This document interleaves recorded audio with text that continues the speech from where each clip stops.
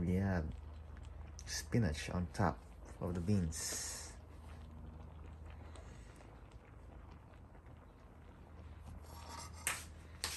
Ayan, kain na tayo. Mahal, iyan mo. Pakita mo sa kanila yung beans. Yung beans, teka. Haluin ko na. Alright, halo-halo na. Later on. The black beans.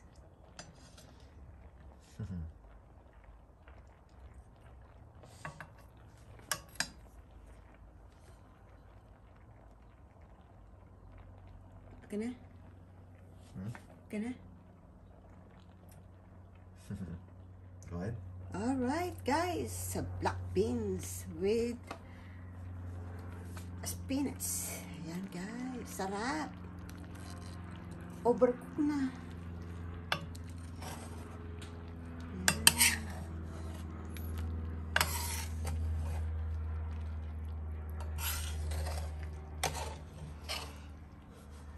Alright, let's eat.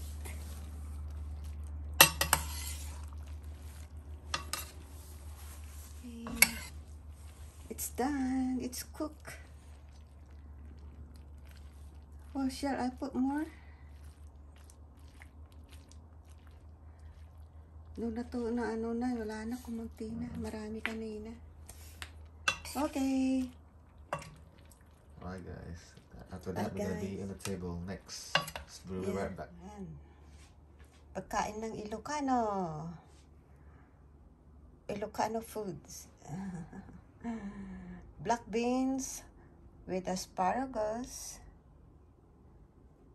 with some cuts of uh, pork. Right there, that's pork. Pork meat.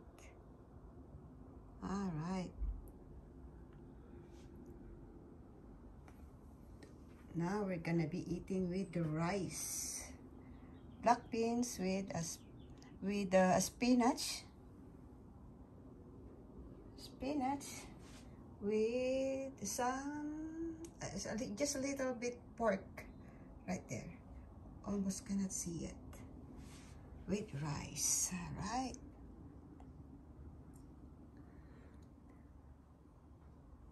That's what we have today. Just a simple meal, guys. Filipino, uh, Ilocano foods. Filipino, uh, Ilocano Filipino foods. There you go. Not much sauce. That's not, not much soup. Just a little bit. That's how I cook. Only few, uh, just a little, little water when I cook. I don't really put a lot so you can taste.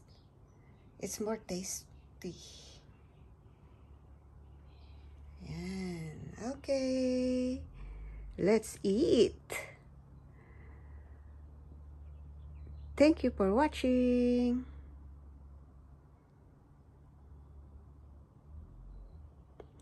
Please subscribe my channel Shirley Tierra.